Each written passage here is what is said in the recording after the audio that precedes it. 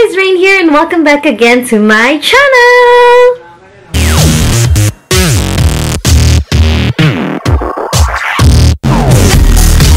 Yan, so today's video guys, I will be making a makeup tutorial ng look na ito and ang tawag ko dito ay ang aking simple guest makeup look. Yes, kasi two weeks ago we attended a first birthday slash christening slash dedication and ito yung look na yon and ipapakita ko yung sa screen yung look talaga nung yung look ko talaga nung araw na yon pero sana nakuha ko siya kahit paano kasi ako yung kasi ng tano kapag um, nag-makeup ako ngayong araw na to, then kinabukasan, hindi ko na siya magawa ulit. I don't know why. Pero yun, ito yung look na yung ginawa ko ngayon. Sana close naman doon sa ginawa ko before. Same naman yung makeups na ginamit ko. And yun lang. Sana magustuhan nyo itong video na to. And I'm so sorry, I've been uh, MI MIA for a couple of weeks. Sobrang busy lang kasi alam niyo naman, holidays. And yun lang. So, please keep on watching! Ayan, I am done with my skincare routine. Miss NYX Angel Veil Skin Perfecting Primer. Lalagyan lang natin yung mga areas sa face natin na mabilis mag-oil up para kumapit yung makeup and matakpan yung pores. Ayan, blend, blend, blend ng maayos para ma-distribute yung product sa mga areas na nilagyan.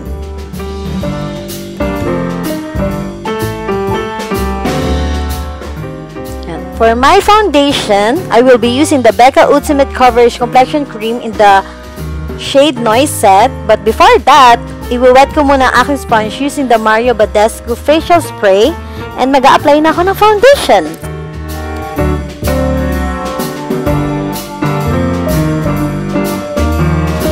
I really love this foundation kasi sobrang full coverage for me and it lasts all day talaga. And this is my holy grail foundation. As in, I can't live without this foundation. Ang concealer na gagamitin ko naman ay ang Maybelline Fit Me Concealer in the shade medium. Lalagay ko lang siya sa aking under eye. Yan. Then, sa aking chin, cupid's bow, sa aking nose line, and sa forehead. Yan na. And then, I will use the same sponge to blend it out. Yan. Dab, dab, dab lang.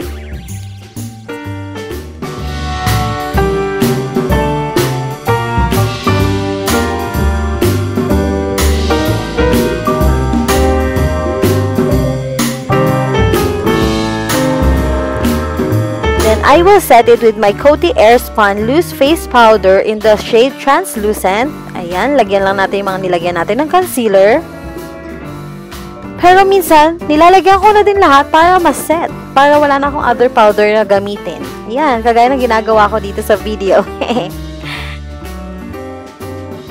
For my eyebrows, I will be using my Anastasia Beverly Hills Deep Brow Pomade in the shade Taupe.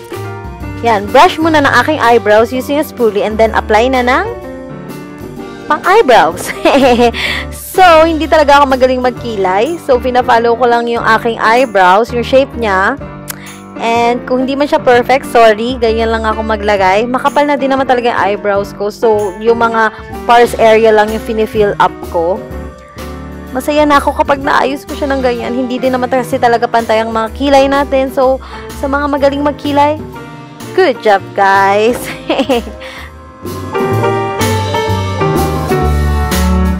Yan, gamitin natin ulit yung concealer kanina at saka kumuha tayo ng maliit na concealer, brush, and lagyan natin yung ilalim ng ating eyebrows para mas maganda yung um, pagkakaayos niya, kita yung arch niya. Yan, onti lang guys. Then blend, blend lang ng maayos and pack na pack na yan. Eyeshadow naman tayo. Ang gagamitin ko ang aking Huda Beauty Coral Obsessions. Ang gaganda ng shades niya. Ito yung gagamitin natin pang transition natin. So, kuha lang tayo. And then, top of the excess powder. Oops! May nakalimutan ako! Lagay pala muna tayo ng eyeshadow primer. Yun yung gagamitin ko, yung Essence I Heart Stage Eyeshadow Base para mas tumagal yung eyeshadow. So, lagay na tayo onte and then, dab dab dab para kumalat yung product. And, Then, start na natin ulit yung ating eyeshadow. Yung pinakita ko kanina pang transition. Ikalat lang natin siya sa ating lid. Ayan, kagaya ng ginagawa ko. O, close up muna pala. Para kitang-kita nyo. Yan, kalat-kalat. Dapat soft hand lang yung gagamitin nyo, ha?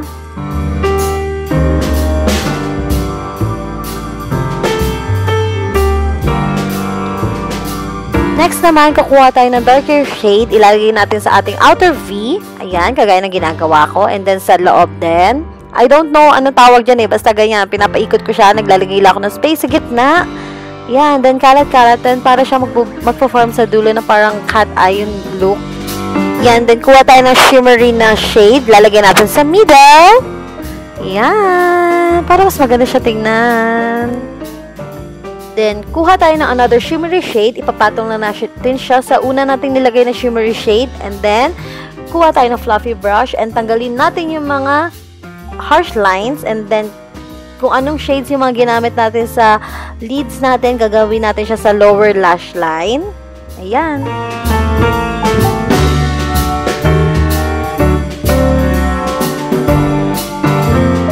line ako using Maybelline Curvitude Liner. Yan lagi kong ginagamit. Ayan na. Grabe guys, sobrang hirap nito as in. Nakakaiyak siya. Ang hirap na um, yung eyes mo is naka-stay open. Yan, pero yan, nagawa ko naman siya nakakaiyak.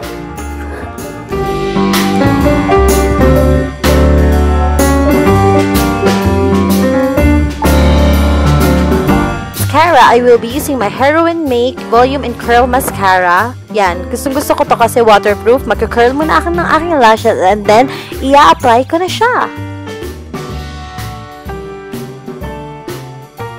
Yan, don't forget yung lower lash line, curl, and then apply.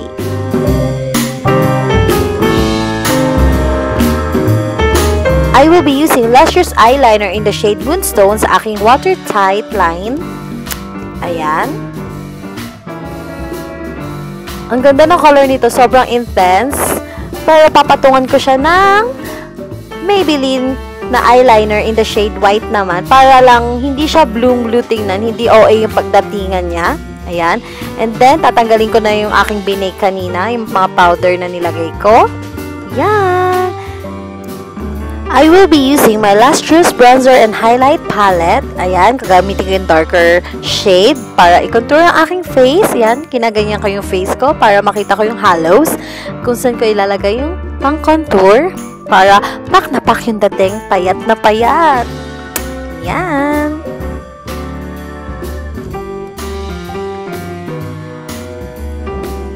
Yan, don't forget yung jawline para hugis bigas, sabi ni Vice Ganda. And yung nose line, don't forget para mukhang matangos. For the blush, I will be using my Milani powder blush in the shade Coral Cove. Lalagay ko lang siya sa apples ng aking cheeks. For the highlight, balik tayo sa Lustrous Bronzer and Highlight Palette. Gagamitin ko yung parang pink na shade. Yan, lagay lang yan sa up, taas ng blush. Then, sa nose lines, sa forehead, sa ch chin, sa cupid's bow, and then sa eyebrow na, eyebrow sa may arch. Yan, para kitang-kita yung arch. Then, maglalagay din ako sa aking tear duct banda. For my lipstick, I will be using my Vice Cosmetics Good Vibes Matte Lipstick in the shade Caring Carry. Yan, ang ganda ng pagka-lips, um, pagka-lipstick, pagka-pink nito, gustong gusto ko siya, kasi, ewan ko, basta, there's something about its pink color na nagustuhan ko, hindi ako ma-pink na lipstick eh, pero gustong gusto ko talaga to. To set everything, I will be using my Mario Badescu facial spray with aloe, herbs, and rose water. Tinakpan ko lang yung sa eyes ko banda kasi ayoko kumalat yung mga ginamit ko sa eyes ko. Although yung mascara na ginamit ko is super duper waterproof. And yan, tapos na. Ita-dry ko lang siya. And okay na ako. Ayusin ko lang yung hair ko. I'll be back!